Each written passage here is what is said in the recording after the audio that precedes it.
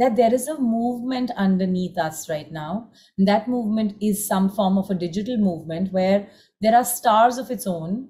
And uh, one can just literally go connect with people there. And the connections are made much faster. It's far more democratic.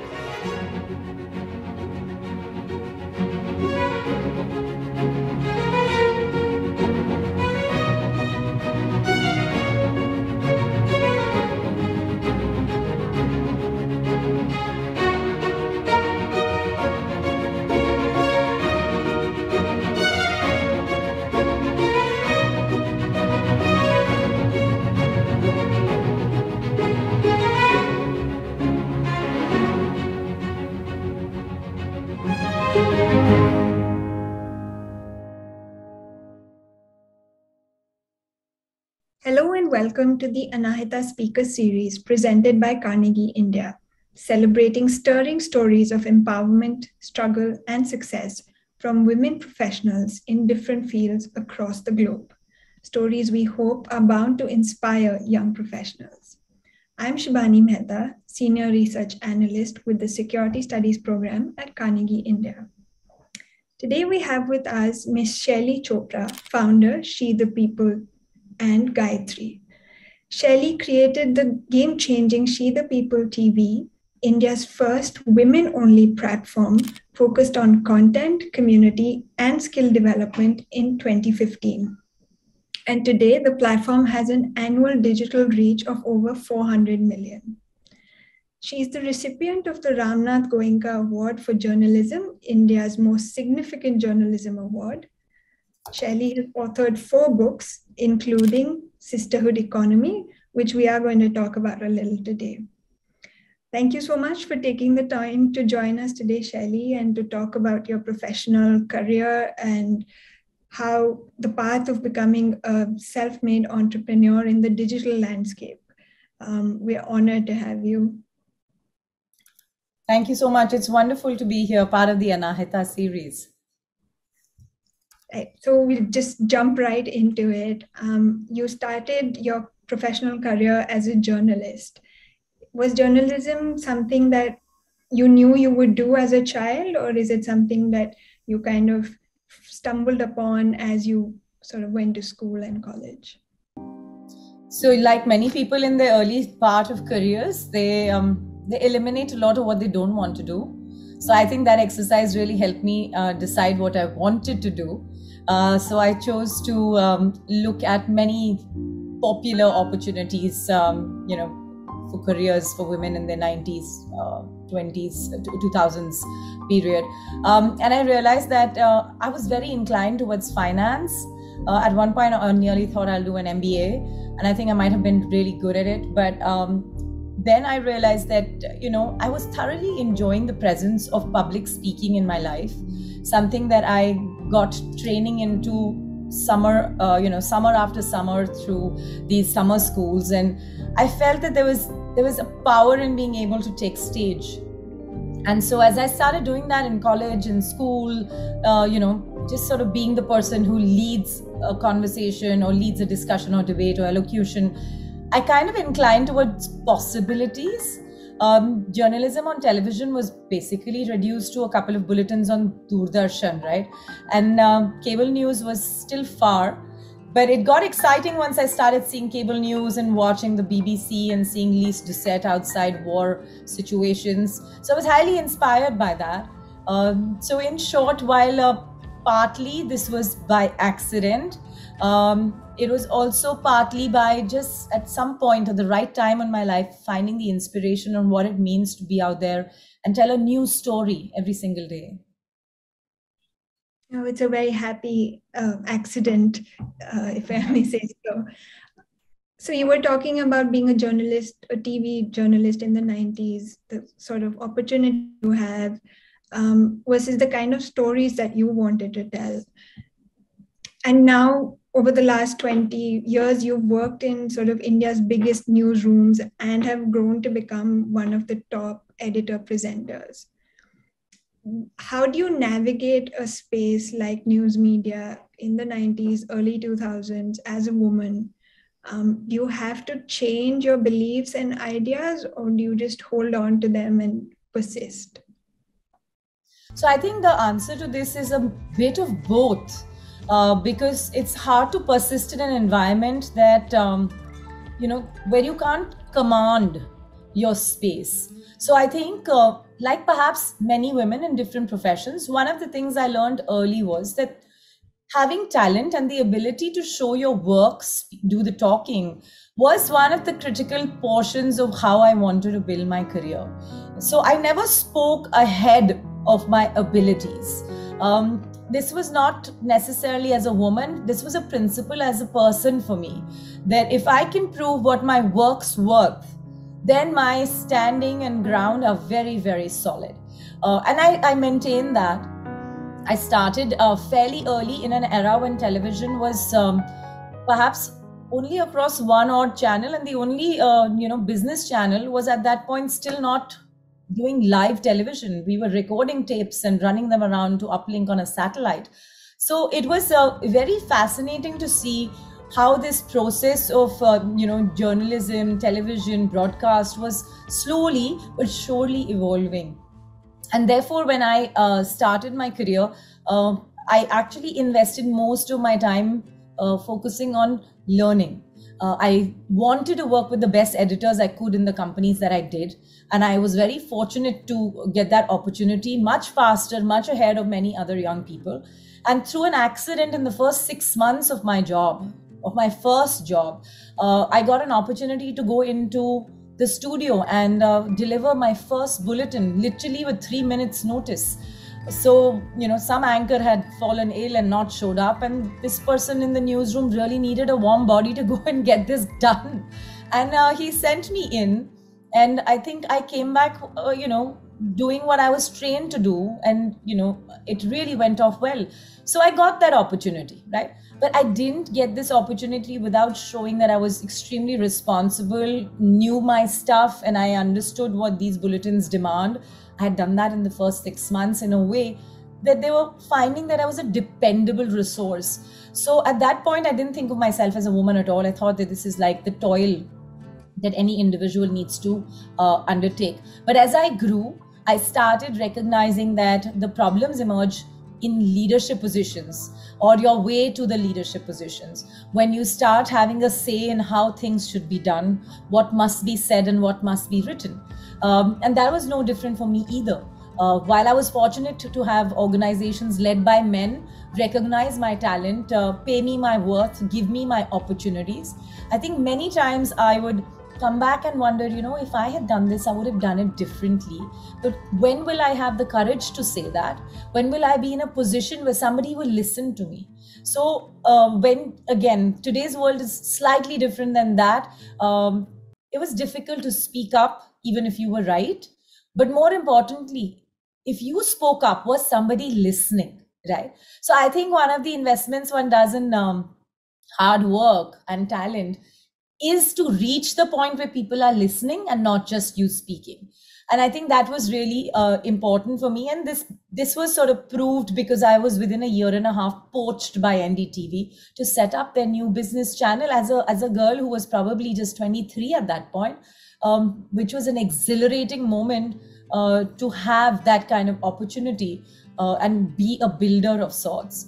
So, as um, 90s uh, and 2000s saw my career flourish, uh, soon enough I realized I was a very young woman with a very strong voice um, that was beginning to intimidate people and wonder if they should give me more opportunities, right? Uh, and that remained with me for some time because I wouldn't budge.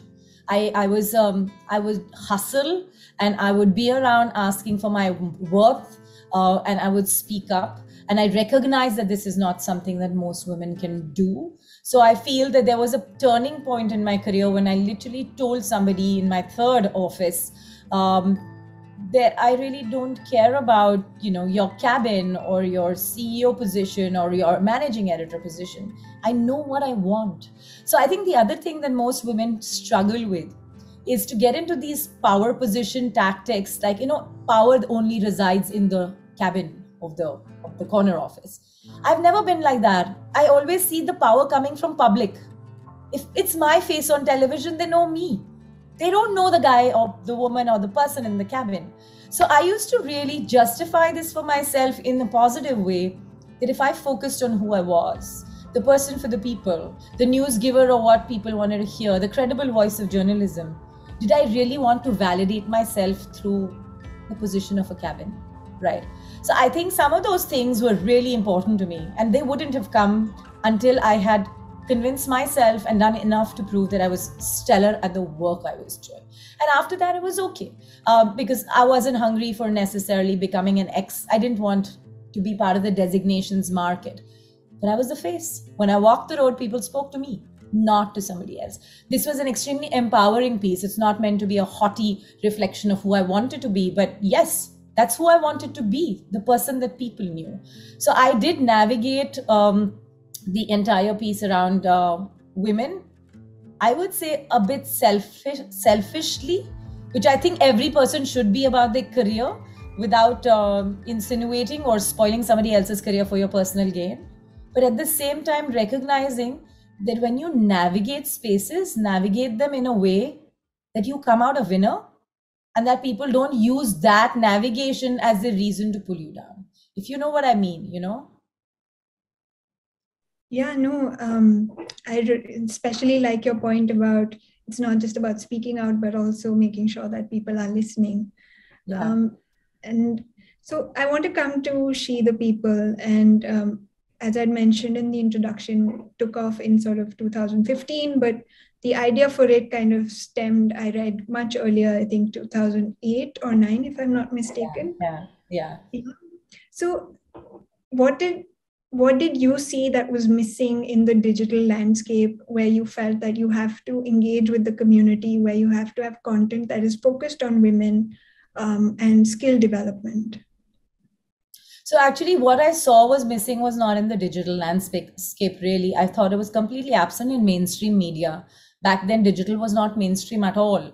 And so uh, for me digital became the outlet where one would experiment some of these and see how they are lapped up by audiences and communities and people because inherently she the people is um, a content driven community tech platform that brings women together to interact and explore new ideas and opportunities.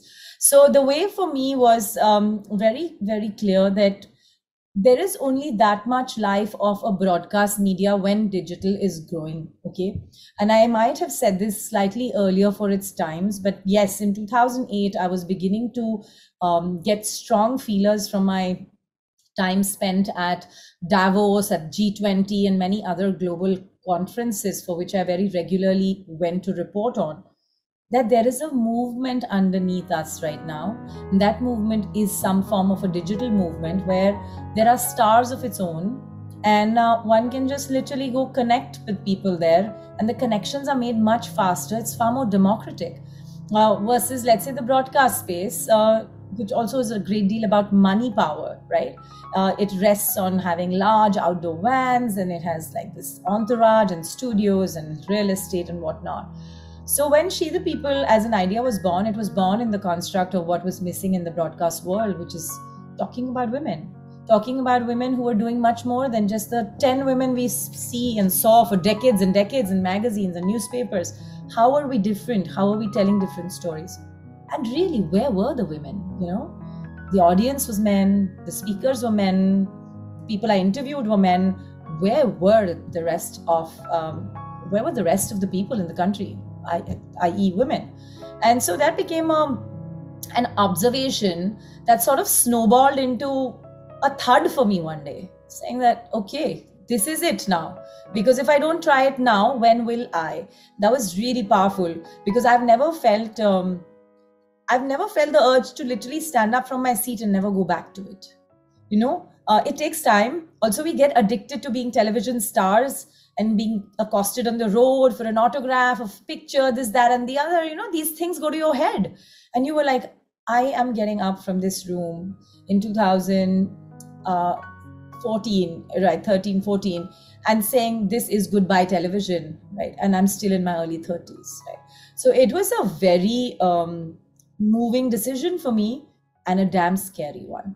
Uh, so while idea of She the People germinated in my head on a little piece of tissue in 2008, and I wrote the word She the People and forgot about it, I actually started actioning it in 2015. Um, and I put up the platform, and it started out just like something that will tell stories of different women. But it snowballed by itself into something that women wanted. They said, not only are you just going to start building it, the rest will take over. We want to be a community. We want to set this up as something where we can meet and have these events and, you know, have recognition. Um, and also tell really powerful stories from how women are molested on Indian streets every day to how they become CEOs, defying a lot of things or internalizing a lot of problems.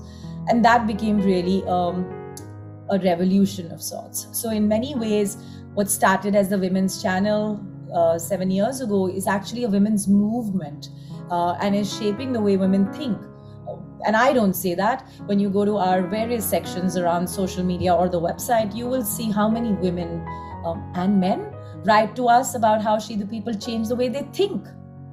And I can't imagine anything that's more powerful than somebody telling you that they change the way how they think. You know, that's a tough one to do to change people's thinking and mindsets and it gives me goosebumps every time I remember those stories. And they come from everywhere from Siliguri, from Khatima in Uttarakhand, which is a rice belt, from Ludhiana, from Salem, Bangalore, Mumbai, Delhi. And it's very heartening to see that. In fact, during COVID, we got these stories from the United States. Suddenly, we were being read and watched tremendously in the US. Hadn't happened to us before. So I think it was really important to go after something that I didn't think would. Um, would have such wings to itself. But it was certainly a thing I very, very, very felt strongly about, right? Um, and I think there, a decision with the heart than mind really proved that this would become a strong decision, which my mind would actually see seven years later, right? Or whatever, five years later, because we're a business. We're no longer a, a website, we're a network, five languages, few chatbots, you know, different uh, social presence, 20 million eyeballs. We're not talking about a small fry here. And it's women. It's women. I'm just saying. Women. Yeah, it's women. women. Stories. Yes, um, yes. But yes, like you said, it's beyond a digital platform, a website of like content curation. She the yeah. People is now a network, it's a community and I, so i just wanted to get to know a little bit more about your idea of sisterhood. Um, it's not always easy for women to support women or find support in other women. Um, sometimes we also kind of go against each other. So how does that feature in building a community of women? So since you mentioned my new book i'm actually going to show it. Okay? This is sisterhood economy and this book is just out a few weeks ago, and it's doing really well for the simple reason that we never think that women can come together and create magic. We are just internalized to believe, like you and I do, that women are often against each other. And I think that's part of the problem. Uh, because I have never been able to come to terms with the notion that we have so many shared issues, but yet we're at each other's necks. You know, we could come together and actually solve many spokes of the wheel for each other much faster, much better, and give the other a chance to not reinvent it. But somehow we have we have glorified the idea that sacrifice and pain must not just be, you know, must must be experienced by everyone in their road to success. And I think that's a very flawed argument. If somebody's figured how to solve a problem, don't let others go through that problem. Give them the solution, let them deal with the next problem. Right? We don't do that. Let me take a step back and talk about what um, what we say when we talk about the importance of spotlighting uh, women and ec- their economics, right? It is the simple fact that today we need women to stand up on their own go into workplaces, see that the work they're doing at home is measured, and are able to ensure that they count. Currently, we don't count. We count in a very small, narrow definition of what is organized labor. That's also why we have gone from 35% to 25%, and I think we're now closer to the 20s than the 25s on the female labor force participation. All of this is a factor of not just economics or statistics or even opportunities. It is a factor of the many other underlying things at play, which we just choose to ignore and blame it on society. Who is society? It's you, me, our parents, our in laws, our friends, our colleagues, right? I mean, it's not like this colossal nemesis that is sitting out there and we can keep blaming it and it's not going to budge. So the problem is that we don't think about things that women should have equality, not just at the workplaces, but also in the bed sheets. We don't talk about the importance of what we show on television and call it pop culture. Whose pop culture is it? We don't question uncles and aunts in WhatsApp groups when they openly come out there and, you know, roll over the carpet of patriarchy and present jokes that are not deserving of being called jokes, right? We don't call each other out in private or public to science try and see if I can fix the path somebody that we love is taking. We don't blame our mothers I always say this, and I say this in the book also women are not just half the population, they raise the other half. And I'm not trying to say that the burden of fixing everything in the world should remain with women as a result, but I think there is certain some fixes can, that can be done at the source code of the problem. Raise better boys, raise more confident girls. Why can't we get this out? Does any of this, what I said just now, sound like economics to you? That's what sisterhood economy is about, where I redefine the concept of an economy and question why we don't recognize all of these factors as players into that economic outcome. This, the day we start doing that, numbers will fix themselves, opportunities will show up, costs will be saved, and profits will be multiplied. All that is a matter of math. Let's talk about other things that we can't do without major, major efforts. And that's why I feel the power of sisterhood economy is important for us to go together. You know, there's that saying, stronger together. We are stronger together. And the more I see women normalize the idea of um, lots of women walking down the street in the night, the higher chance that there will be better lighting and the lower chance there'll be eve teasing or, you know, uh, hanky panky by any passers by. But is the answer to say put the women in cages and keep them at home? No. In most cases, because that answer is quantifiable, we'd rather how many cages are we building? How many women are going in there? It's not about the other things that we can do. So I think if we start fixing that, and if women start recognizing that some women are very much so part of the patriarchal system, just like many men are really on the side of women in many cases, including not having to be forced to work, to be the bread earners, and so on and so forth, we will start seeing this as a problem and not men versus women. Yeah, lots to think about. And um, I wish we had more time to get into each of the things that you said. Um, but so I was reading one of your interviews where you said that the way we talk about women, the way we report on women, and how we reflect on women's stories uh, begins with how the media covers these stories. And I just wanted to know from your sort of professional experience in media, in digital communication, where you have helped brands connect with women, how do you see women sort of leveraging the digital comms platform um, to be entrepreneurs? I think that's a great question. And it has two parts to it. One part is where brands need to start recognizing the importance of female voices and voices of other minority genders into their communication, into their community, into their customers, right? So if they start seeing them as customers, they start talking with them. Uh, that realization is coming, but it's still slow. New age brands are waking up to it uh, some other brands are still doing pink washing. There are others that are trying to navigate the two.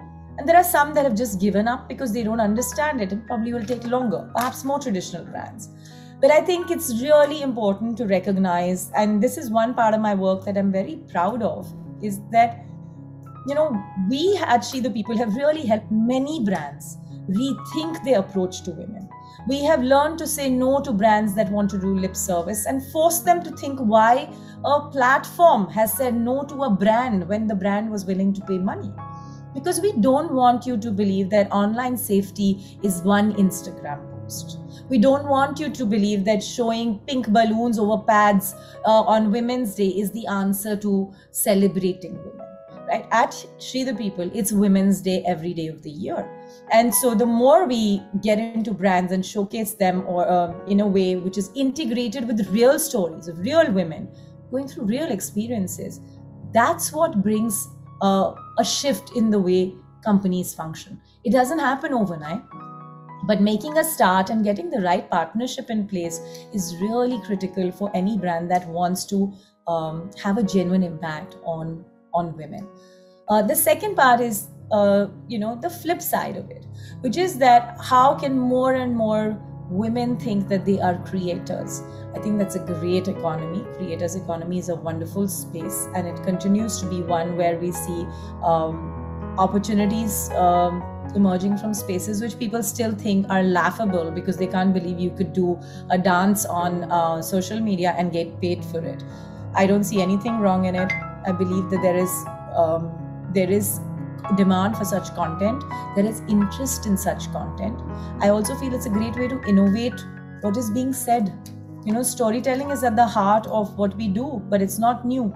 It's existed from the time uh, that man existed um, or was born. So we need to recognize that storytelling has to live up with the times.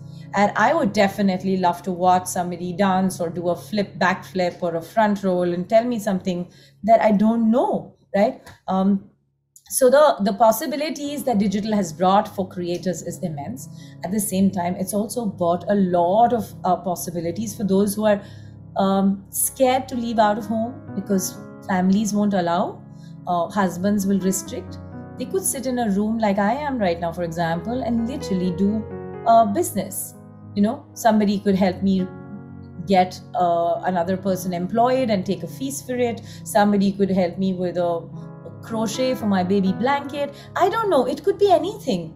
But i feel that we have this notion and this is something that came through a lot for me during my book writing. We have this notion of what is work? What is worthy of work? Right? I mean is is the person who's looking after the house not worthy of work? They've done their work. Um, even if we go, get into a very imperfect debate on what is work and also how it should be measured when somebody's at home i recognize the need for such a debate. I'm not running away from it. But i don't understand why being a ceo is worthy of work and it's an important work while being a housekeeper is not important. Same thing with the nature of work. If you're doing, if you're running a 1000 crore business, uh, and versus somebody who's running a 1 crore business or a 10 lakh business or a 10,000 rupee business, it's important to note what that work brings to that person. That's where the worthiness is. It's not in the numbers of how big a market cap you have. Not important. The larger scheme of things, things will change for both men and women when they start respecting work for its work's sake not what it hangs as a medal in front of them. I mean, I completely agree with you in terms of defining work and the nature of work, especially when it comes to women. And while the digital sort of landscape has changed how women contribute to the economy in a more sort of conventional or traditional sense, um, a lot of the conversation and debate around the role of women in economy kind of stops at how to move ahead in your career, how to negotiate higher pay, uh, maybe just managing your role as a caregiver and also being a full time professional. Um, there are still certain topics that women hesitate to discuss um, you do you are vulnerable about your health and reproductive health only with your sort of close intimate circle and this is why i think Gytree which is your initiative on women's uh, reproductive health is such a game changer. But i'm also wondering how you got women to come forward and be vulnerable about issues that you know you you can't discuss with anyone but maybe your girlfriends. Yeah. You know uh, my struggle um, is a life struggle when it comes to women's health. Um, my idea is the game changer but we haven't changed the game yet okay? Uh, we're on our path to do that but we needed to make a start. Um, i have seen families and layers and layers of women across around me internalize pain emotional pain physical pain period pain i mean every kind of pain. Our um, you know we would be great moms great daughters great daughter-in-laws great sisters depending on how much pain can we bear. I mean i literally just don't know how that came to exist. It is it is just such an such an upsetting concept right? You you sacrifice from from everything from whether it's stuff on your plate to your careers to everything and therefore you become the good person.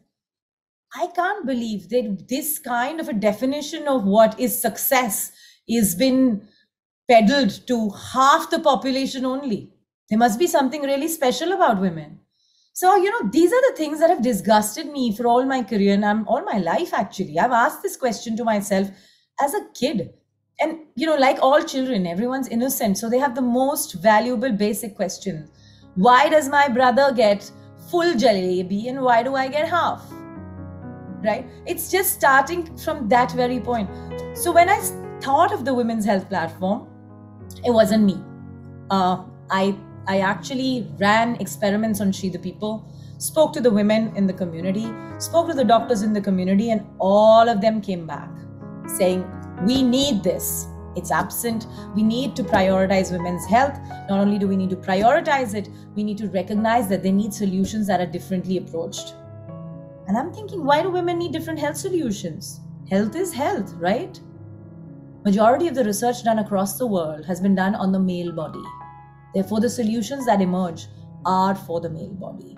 And so the question is when people go to the doctor, Pain is pain, have a painkiller. It doesn't work like that.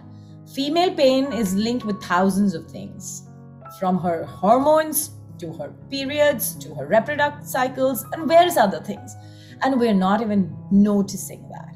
And I think that is really very fundamentally important for me to change that both doctors and women are democratizing the idea of why and how women should access health. In fact, in the book, the biggest chapter is women's health. And it pained me to write that because I was listening to girls tell me that they, they will only go to the doctor when they're pregnant. Fundamentally problematic. And these are women from villages, but I'll tell you my own experience. I am 42 with two children. I first went to a thyroid specialist after I was pregnant with my first child and discovered I have a massive thyroid problem if I had discovered this at 18, 19, perhaps I would have had a far better runway to fix this than trying to now sort my life out before the birth of the baby as if the birth of the baby is the only reason I need to have good health. So we haven't looked at women beyond being producers of children, you know, or mothers.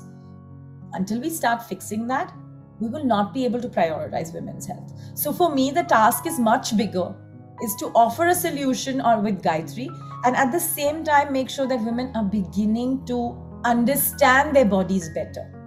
We did about 5 billion in uh, YouTube views on women's health content. For this reason, every single doctor we see today who's a star on Instagram two years ago started on She the People with a lot of amazing content and has helped both us and themselves in this journey to democratize information on women's health we do need to change one very fundamental thing. Women need to start thinking they need to prioritize their own health. And for me, as we offer Gytree as a solution, that is really the fundamental movement of this mission. Let's realize we need to put our step, our step forward, our hands up, saying, I need to get this checked. Everybody else come behind me. You know, that's really where one needs to fix. But we do have, I mean, I'm sure um, these are familiar to some of your audiences, but 60% of Indian women stay out of the workforce because they have one health problem or the other. Majority of the women, by the time they hit the doctor uh, with pain levels, have already reached stage four of endometriosis. Many of them don't know what endometriosis or PCOS is. Many of them don't know that they have fibroids and they should be removed, even though they're not doing anything to them in their body, for example. So there are all kinds of things. Ask a woman about um, health, and she'll say, "Oh, I just get a sinking feeling once a while." The sinking feeling is linked directly to your hormones. I'm not a doc, but I'm hearing this from the doctors who are running the entire fundamentals of Gytree today that we keep saying mood swings, ghabrat ho rahi. All this is fundamentally linked to our hormones, which we're willing to happily ignore because it's just a mood swing. You know what I mean? Such fundamental challenges with the way we're thinking about health. Yeah, and I think this glorification, like you said earlier, of the struggle and you know powering through the pain um, is actually not helpful at all, especially when you have solutions out there. But just because we're not open about these issues that we face, um, we're denying ourselves a lot of comfort and ease. Um, I know you have to go, so I will just go to my last question. Um, you mentioned earlier when we were talking about sort of being a media professional that the internet and going digital kind of lowered the barrier to entry. Uh, a lot more people had access to information, but were also being able to create more content. And I'm wondering that these issues are not particularly limited to people with access to internet and technology, but especially in our country where there are a lot of women that are outside of this circle. So, how do you see She the People or Gytree or any of the other sort of digital initiatives you've taken to kind of cross the barrier of going beyond digital? That's a great question. So, um, when we started out, we used digital. Very soon, we moved into an omni channel space. Okay. O to O, we call it offline to online, online to offline. Why? Because we recognize that women like to meet. Sometimes inspiration comes in different packages, and often that's in flesh and blood. Uh, but I think what uh, matters is that how do we scale enough to reach enough women so that they are able to touch and feel the idea of who we want to be for them.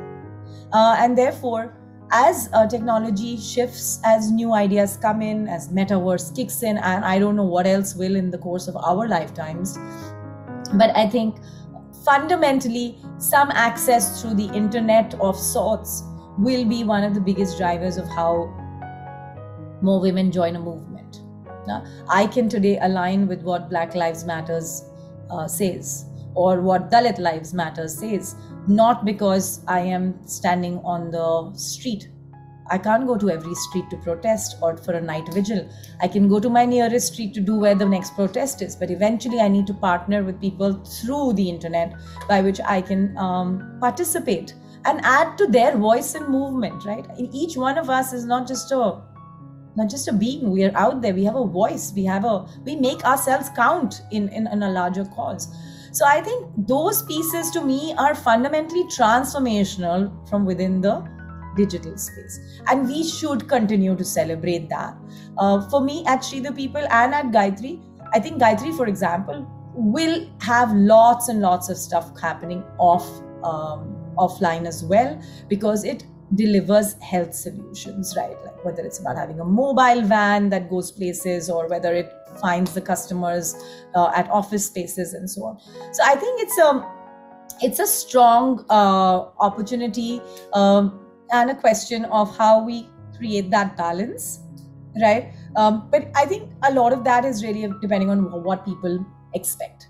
I just think that earlier businesses or people used to come to a place to shop the shop can go to them even if it's not online right so i think there are different ways to look at it but in, in a in a broader conclusive way i would say that what um, what the power of the internet has done is uh, is really a great example of what the people has become. I uh, always have had the option of having a physical space. We didn't which is why we have colleagues who are working from Nainital and Siliguri and truly reflecting the idea of India as opposed to eight people who live between Gurgaon and Delhi and come to the office and tell us what to do with the rest of the world. Right? So, ground up movements for me are very critical. You have to go from below, have to go from where people come from, what their challenges are, what they need solved, and then come up with what you can offer them as, a, as an enabler, but not otherwise. Thank you so much for joining us today, Shaili. This conversation, I'm sure, is an inspiration not just to budding entrepreneurs, but also encouraging women to talk a little bit more about their struggles and come together to find solutions. Do subscribe to Carnegie India's YouTube channel for more such content. Thank you.